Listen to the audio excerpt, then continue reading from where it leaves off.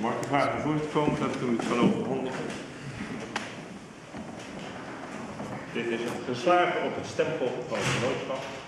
En eh, met uw naam en daaronder. Van harte gelukkig, Mustafa.